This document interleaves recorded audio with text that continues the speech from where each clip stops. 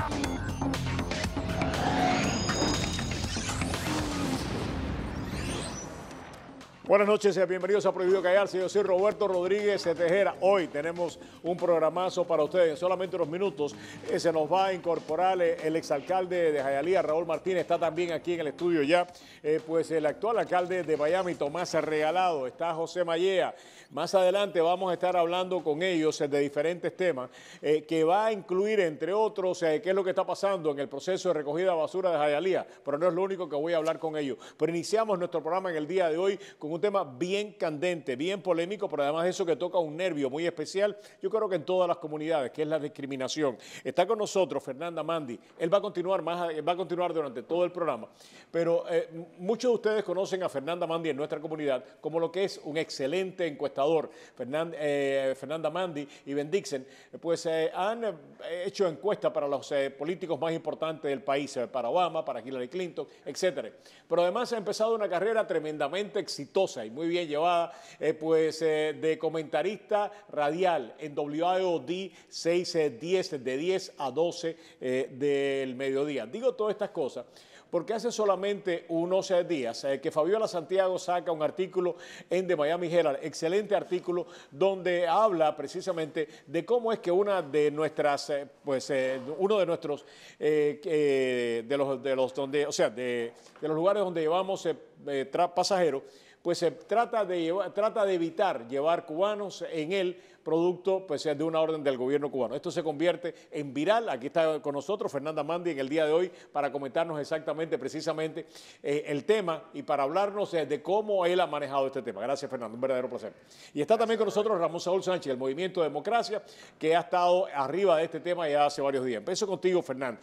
¿Cómo lo descubriste? ¿Cuál ha sido la reacción del público norteamericano al cual tú te diriges diariamente de 10 a 12 a través de WIOD? Cuéntame. Bueno, fue bien irónico porque el jueves pasado por la yo estaba viendo el juego de los Miami Heat, que el dueño de los Miami Heat es Mickey Harrison, y de pronto me empiezan a mandar textos y cosas a la gente diciéndome, oye, ¿viste la, la columna de Fabiola Santiago en el Miami Herald? No, no lo vi, ¿cuál es la polémica? Y resulta que Fabiola Santiago descubrió que en estos nuevos viajes que va a hacer Carnival Cruise Line, eh, empezando el primero de mayo, a Cuba, eh, permiten que vaya todas personas, menos ciudadanos americanos que nacieron en la isla de Cuba. Que yo pensé que era una burla, pensé que era una, un cuento de eso de April Fools que llegó una semana atrasada, porque no podía haber sido algo en serio. Pero me di cuenta, Roberto, que no solamente fue en serio, está pasando.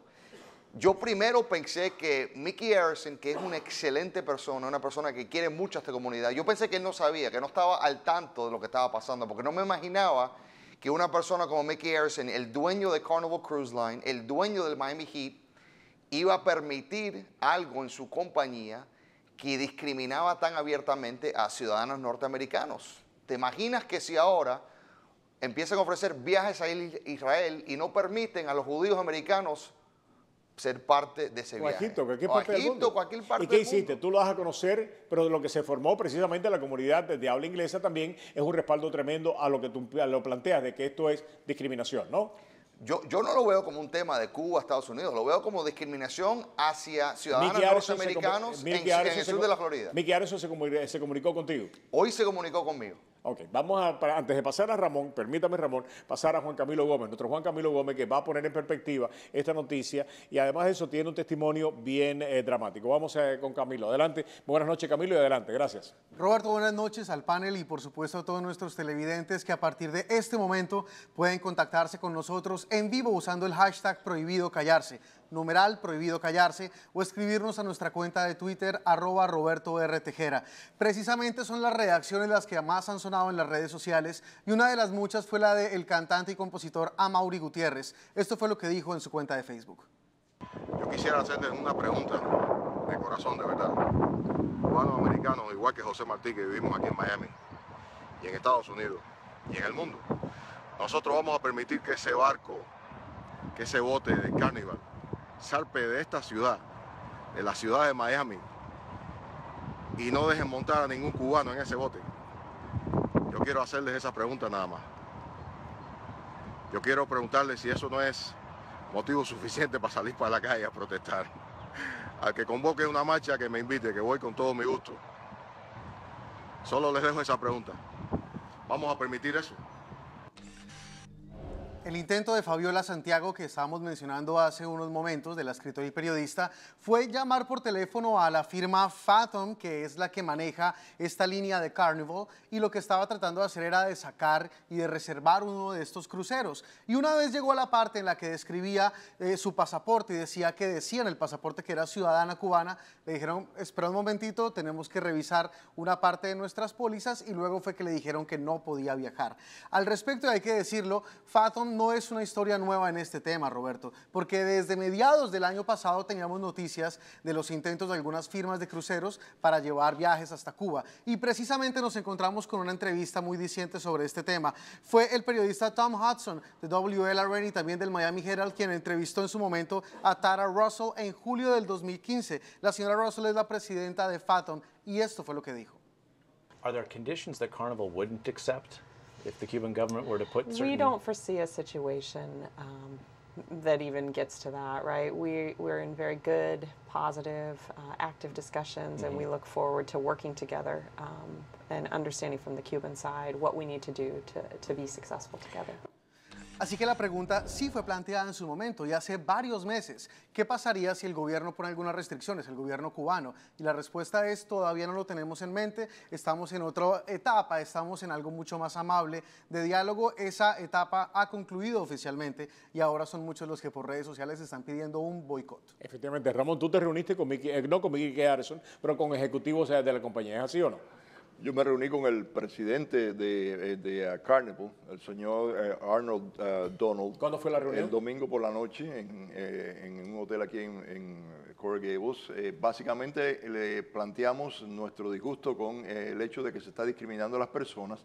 Le dijimos que permitiera a los cubanos montarse a bordo del barco, que llegaran a Cuba y que fuera el régimen de Cuba quien determinara si se bajaban o no del, barco. Él nos dijo que si se hacía eso, el régimen simplemente no iba a dejar entrar al barco llevando a bordo eh, cubanos porque hay eh, una eh, norma en Cuba, es un decreto en realidad, que no permite que ningún cubano entre o salga de Cuba por mar, no puede salir en un barco. tienen que entregar un manifiesto, tú me habías dicho que tienen que entregar un Dos días antes tienen que entregar un manifiesto y ahí el manifiesto dice que son cubanos los que van a bordo. Nacidos en Cuba, no ni siquiera naturalizados cubanos. Pueden ser ciudadanos americanos, pero nacidos, nacidos en Cuba. Todo el que sea nacido en Cuba, eh, cubano eh, que tenga el estatus que tenga o ciudadano americano de origen cubano, no pueden, no pueden entrar. ¿Qué tú vas a hacer o qué, cuál fue la conclusión de la reunión? Bueno, tú sabes que llevamos semanas involucrados en esta campaña, hay varias personas que nos habían llamado ya con eh, respuestas de Carnival eh, y eh, estamos dando otros pasos. habíamos organizado ya con el equipo legal nuestro, hemos contactado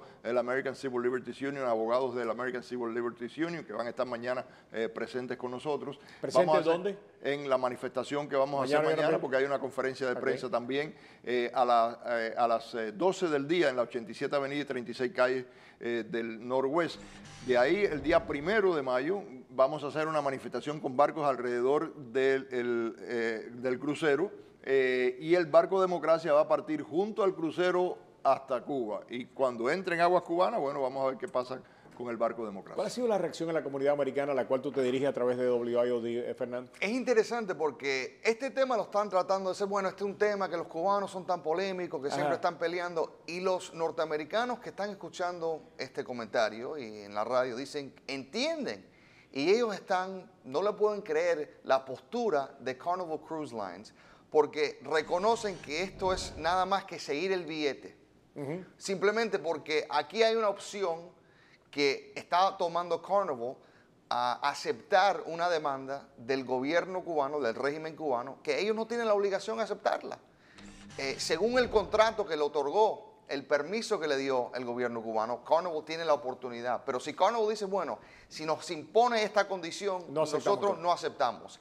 Y es interesante porque la competencia de Carnival, que se llama Norwegian Cruise Line, tuvo un precedente eh, hace dos años estaban llevando unos pasajeros judíos a, Tunisia, Túnez, y no le dejaban desembarcar. El gobierno dijo, no, aquí no permitimos pasajeros judíos. La gente de Norwegian Cruise Line, lógicamente, correctamente, se indignaron, dijeron que, bueno, ustedes no nos van a imponer eso, rompieron su contrato con el puerto, nunca regresaron hasta que eliminaron ese, esa, esa, esa llamada de no permitir dejar desembarcar a los pasajeros ¿Tú hablaste, de con, la o sea, eh, eh, o sea, ¿tú hablaste con, con, con, eh, con Mickey Harrison? ¿Llegaste a hablar con él en tu programa de radio? Le- le- le- tuvimos una invitación correcta porque yo sigo pensando, él es un hombre que yo creo que tiene el interés de esta comunidad, creo que se ha ganado el beneficio de la duda y yo he empezado una campaña en Twitter que se llama hashtag Make It Right Mickey. Haz las cosas bien Mickey, porque yo creo que él va a, a Pero te- se responder. te contestó por un.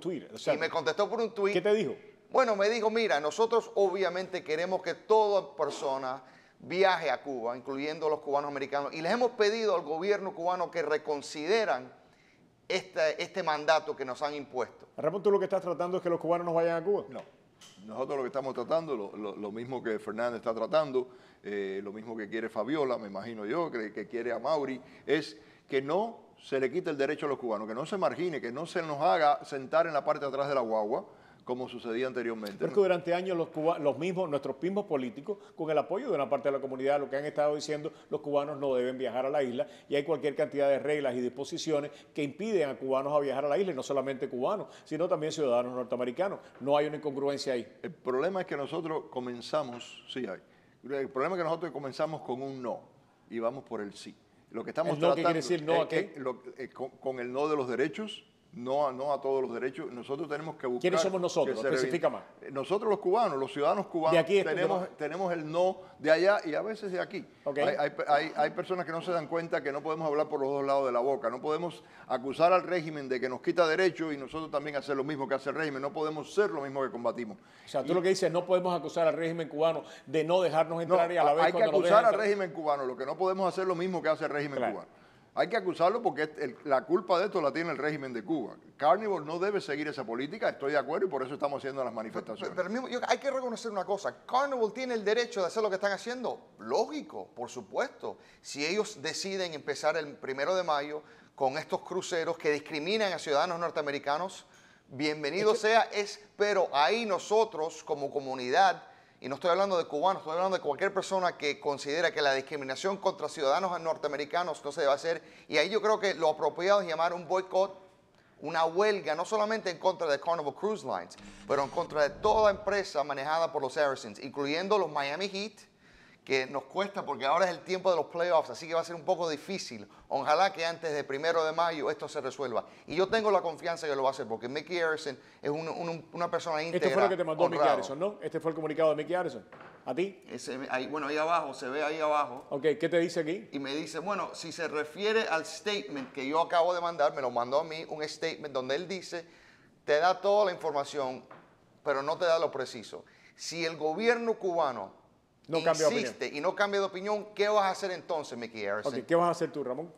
eh, seguir empujando todo lo que podamos escaladamente, escalonadamente. O sea, tenemos la protesta ahora, tenemos la flotilla, eh, la posibilidad del boicot, como dice Fernán.